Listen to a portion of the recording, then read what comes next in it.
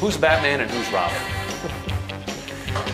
Uh, It's tough one, but sorry, Brodie, but I will go. on. I will go with Cardi because you had the beer. He looks a little meaner. So Batman, you you kind of like the nice guys around him. So So it has nothing to do with height. Huh? Nothing to do with height. It's just looks. It's just I, I probably looks. You're the nicer guy, so I say Robin. He's he looks a little more tougher, so he will be the Batman. I'm nicer. I like that. I like that.